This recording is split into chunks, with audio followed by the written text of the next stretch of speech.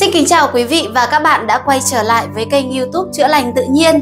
Hôm trước thì có bác tài khoản youtube tên là Nam Hoàng có hỏi Hằng về cái cách chữa bệnh chuột rút Và bác có hỏi là chuột rút thì có phải là do thiếu canxi hay không? Vậy thì hôm nay Hằng xin chia sẻ tới quý vị về cái chủ đề này. Rất là mong là sẽ có cái câu trả lời thỏa đáng cho bác khán giả này, Cũng như là thêm thông tin cho quý vị về một cái căn bệnh khá là phổ biến. Chuột rút thì nó chiếm tới 60% dân số mắc phải cái chứng chuột rút này ít nhất một lần trong đời. Đó là một cái con số mà Hằng nghĩ nó không phải là nhỏ, cho thấy rằng cái chuột rút là khá phổ biến. Chuột rút là một cái hiện tượng co thắt cơ thông thường mà ai cũng nghĩ nó chỉ là một cái hiện tượng bình thường. Chúng ta thì thường chủ quan chưa quan tâm đến đúng mức về cái cơn chuột rút này. Hầu hết thì trường hợp chuột rút xuất hiện ở bàn chân hay là bắp chân hoặc là các ngón chân. Chuột rút thì gây ra những cái cơn đau bất thường khiến cho quý vị ờ, tê liệt mọi hoạt động, không cử động được. Mồ hôi chúng ta toát ra và sẽ vô cùng là nguy hiểm nếu như chuột rút xảy ra khi mà quý vị ờ, đang leo trèo này hoặc bơi lội, lái xe hay là tắm sông, tắm biển và đặc biệt là những người bị bệnh tim. Nguy hiểm đến như vậy thì nhưng mà chuột rút vẫn không được mọi người chú ý đúng mức hoặc là xem đó là một cái triệu chứng xảy ra bình thường. Thông thường thì khi mà bị chuột rút thì mọi người thường hay ngồi tại chỗ và chúng ta xoa bóp cái bắp tay, bắp chân mà cái vùng bị chuột rút đó cho đến khi mà cái cơ của chúng ta hết căng và không còn đau nữa. Tuy nhiên, nếu như mà chuột rút xảy ra thường xuyên và lặp đi lặp lại thì sẽ rất là nguy hiểm. Vì những cái biểu hiện này thì có thể là nó là dấu hiệu cảnh báo ờ, của cái chứng bệnh suy giãn tĩnh mạch ở chân và nhiều cái bệnh lý khác. Nguyên nhân của chuột rút thì đường thường nó đến từ hai cái nhóm nguyên nhân chính. Một là cái tình trạng do thiếu oxy mô, hai là cái tình trạng thiếu nước hoặc là các khoáng chất ví dụ như là muối, natri, kali hay là canxi. Hoặc là thường trường hợp vận động trong cái thời gian dài hoặc giữ trong một cái tư thế uh, nhất định cũng là một cái yếu tố dẫn đến cái tình trạng uh, cơ bị co cứng và chuột rút.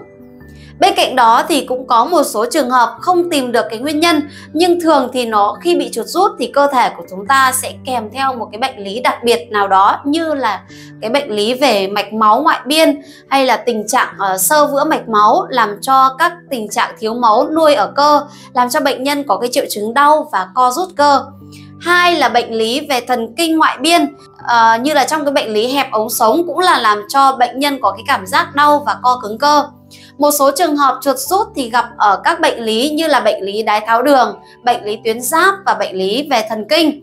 Chính vì nó tiềm ẩn những cái nguy cơ bệnh lý như vậy nên nếu như mà quý vị gặp phải cái tình trạng chuột rút thường xuyên và chân sưng, đỏ tấy, cái cảm giác rất là khó chịu, màu da thì thay đổi và cơ thì yếu mà không cải thiện được bằng các phương pháp chăm sóc thì quý vị nên đi gặp bác sĩ để chúng ta kiểm tra sức khỏe, chúng ta để chúng ta có được một cái phác đồ điều trị cụ thể cho những cái từng cái chứng bệnh và từ đó cải thiện được gốc rễ căn bệnh chuột rút. Đối với cái tình trạng chuột rút thì quý vị uh, ngồi nghỉ một lúc hoặc là xoa bóp vùng cơ bị chuột rút, từ từ nó sẽ trở lại cái trạng thái bình thường. Tuy nhiên, nếu như mà muốn giảm nhanh cái cơn đau của chuột rút, thì quý vị có thể là thực hiện cái phương pháp bấm huyệt như sau. Nếu mà chúng ta bị chuột rút ở bắp chân, thì quý vị hãy dùng hai cái bàn tay chúng ta miết cái phần cơ bị chuột rút từ trên xuống dưới nhiều lần sau đó là quý vị hãy bấm huyệt ủy trung ở phía sau khoeo chân. Huyệt ủy trung thì nó nằm ở chính giữa cái khối cơ nối sau khoeo chân. Quý vị hãy đứng thẳng và căng chân ra thì chúng ta sẽ thấy được cái phần cơ lồi lên ở cái sau khoeo chân. Ở chính giữa của cái cơ này chính là vị trí của huyệt ủy trung. Vị uh, quý vị hãy dùng cái ngón tay cái chúng ta bấm và dây tròn vào huyệt vị này từ 2 đến 3 phút. Huyệt vị thứ hai là huyệt vị thừa sơn Huyệt thừa sơn thì nó nằm ở cái cuối bắp chân tại cái chỗ lõm giữa cái khe cơ sinh đôi ngoài và trong. Chính là cái điểm chia đôi cái đoạn thẳng nối gót chân và huyệt ủy trung.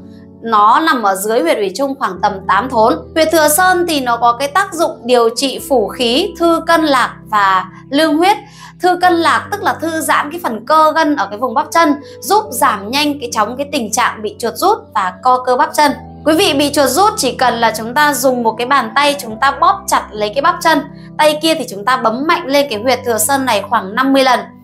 Cách làm này thì tuy đơn giản, thế nhưng nó sẽ giúp cho tình trạng căng cơ biến mất rất là nhanh chóng. Bước thứ ba là chúng ta sẽ tác động lên hai huyệt côn lôn và huyệt thái khê. Hai huyệt này thì nó sẽ nằm đối xứng với nhau qua cái gân gót chân và côn lôn thì nó nằm ở giữa gân gót chân và mắt cá chân ngoài. Còn huyệt thái khê thì nó nằm ở giữa gót chân và mắt cá chân trong. Chúng ta dùng ngón tay cái và ngón tay trỏ day bấm đồng thời lên hai huyệt này. Quý vị có thể làm miết lên miết xuống từ 1 đến 2 phút là được. Cuối cùng là chúng ta sẽ dùng hai bàn tay chúng ta xoa bóp nhẹ cái vùng co chân, cơ của chân của chúng ta bị co rút và thư giãn chân. Nếu như quý vị bị chuột rút ở bàn chân và các ngón chân thì quý vị cũng làm tương tự như khi chúng ta bị ruột rút ở bắp chân. Quý vị cũng tác động lên các huyệt vị huyệt thừa sơn, huyệt côn lôn và huyệt thái khê. Sau đó là chúng ta bấm tiếp uh, huyệt vị dũng tuyền ở dưới lòng bàn chân. Đến khi mà cái cơn chuột rút giảm dần thì quý vị sẽ dùng cái bàn tay chúng ta bẻ ngược các ngón chân như thế này uh, giúp thư giãn cho các ngón chân và lưu thông lại khí huyết cho vùng chúng ta vừa bị chuột rút. Đối với trường hợp bị chuột rút ở tay thì ờ, ít gặp hơn thế nhưng mà nếu như quý vị gặp phải thì quý vị cũng có thể làm như sau.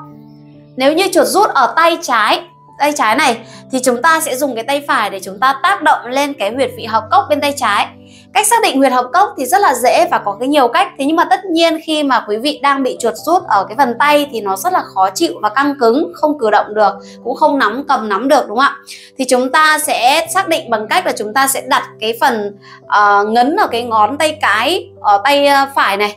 Chúng ta đặt vào cái khe khe giữa của hai cái ngón trỏ và ngón tay tay cái này thì sau đó là cái đầu ngón tay cái của chúng ta chỉ vào đâu, đó chính là vị trí của huyệt học cốc.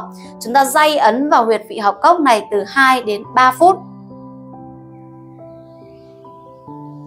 Sau khi mà cái cơn chuột rút giảm dần rồi thì quý vị sẽ kéo ngược các ngón tay lại như thế này để cho giãn các cái ờ, cái phần cơ tay này lên. Thêm một cách nữa, đối với những ai mà bị chuột rút do cái tình trạng mà bị suy giãn tĩnh mạch thì quý vị có thể là sử dụng cái cây lăn cầu gai đôi lớn như thế này. Đây là một cái dụng cụ ở trong diện trần. Quý vị dùng có để lăn qua lăn lại ở những cái phần cơ bắp chân và bắp tay như thế này.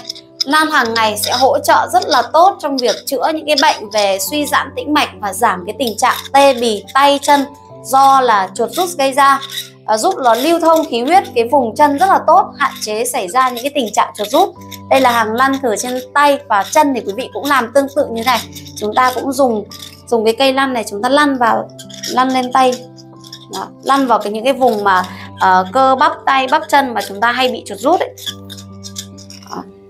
làm cả hai tay như thế chúng ta làm hàng ngày nó sẽ giúp lưu thông khí huyết ở cái vùng tay chân của chúng ta hạn chế những cái vùng cái chứng bệnh và về tê chân tê tay hay là uh, co chân co cứng các cơ bắp chân do chuột rút gây ra. Trong diện trần còn có một cái phương pháp trị bệnh cũng khá là hay đó chính là đồ hình phản chiếu. Theo như cái đồ hình phản chiếu ngoại vi cơ thể trên da đầu hàng sẽ để ở bên góc bên phải màn hình của video này thì thì cái cẳng chân ấy, cả và cái bàn chân của cái người màu đỏ này nó sẽ phản chiếu ở cái vùng sườn hai bên đầu này của chúng ta, đúng không ạ? Vậy thì để phòng và tránh cái việc mà chúng ta bị chuột rút thì hàng ngày quý vị hãy dùng cái nắm tay này hoặc là chúng ta trà lên cái vùng đầu này. Nó cũng rất là tốt. Chúng ta trà vào đây hàng ngày. Đó. Quý vị làm như vậy từ 2 đến 3 phút trên đây là những cái chia sẻ về nguyên nhân và cái cách xử lý tình trạng chuột rút bằng cách là massage và bấm huyệt. Hy vọng rằng quý vị sẽ có cái nhìn đúng đắn hơn với cái căn bệnh tưởng chừng như đơn, đơn giản và thường xuyên xảy ra này. Nếu như ai đang bị tình trạng chuột rút thì chúng ta hãy nên thực hiện những cái động tác trên mà Hằng chia sẻ nhé.